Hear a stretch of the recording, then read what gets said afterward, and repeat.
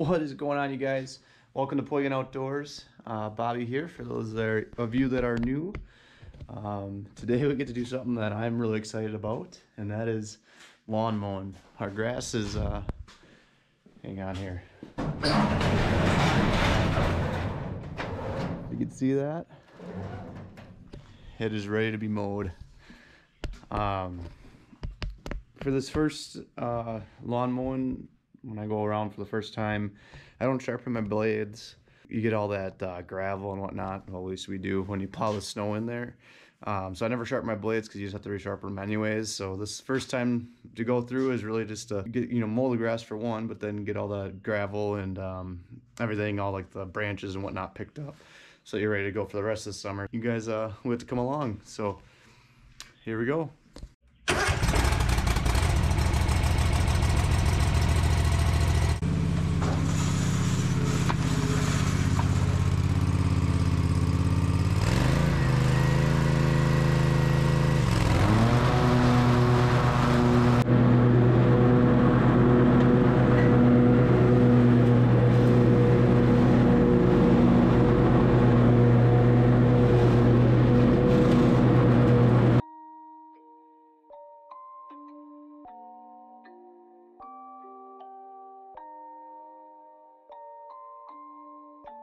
Rage on that beat, going crazy.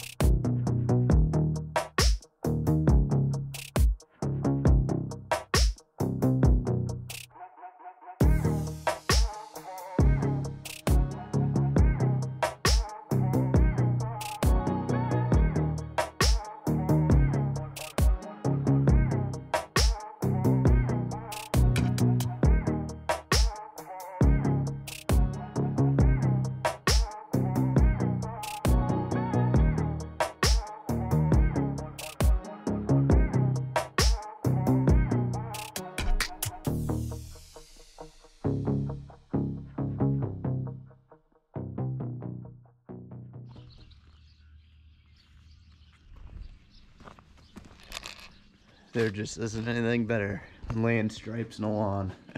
well, I admit it probably is, but I'm excited it's here. So yeah, so that's it. That's the first first cut of the season. Um, everything went pretty good. I did hit a mud spot and of course dirtied up my nice clean lawnmower, but that comes with it.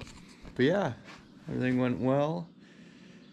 Looks really nice. For this first mowing, I always uh, mow up higher and actually I'm gonna probably stay mowing higher.